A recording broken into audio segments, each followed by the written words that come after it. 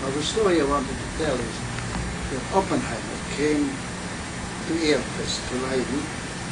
It must have been in the late 20s or so. And, uh, and uh, Ehrenfest was a little unhappy about it. He wrote a letter to Kagan in which he said, uh, I am here a very intelligent and gifted American, but I don't know what to do with him because he speaks so fast and, and uh, I never really have under, can understand what he says.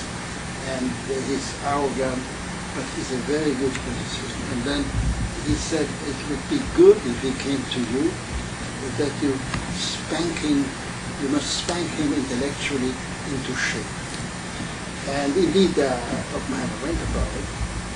I don't know whether he was long enough to be spanked into shape, but the point is that for everybody who has worked with Pauli, who was Pauli's assistant, that I remember, Felix Bloch, Peierls, myself, other, they, uh, we were very happy to be spanked into shape by. This is taped on June 17 during the visit of Professor Weisskopf to the Institute for Advanced Physics Studies in La Jolla, California.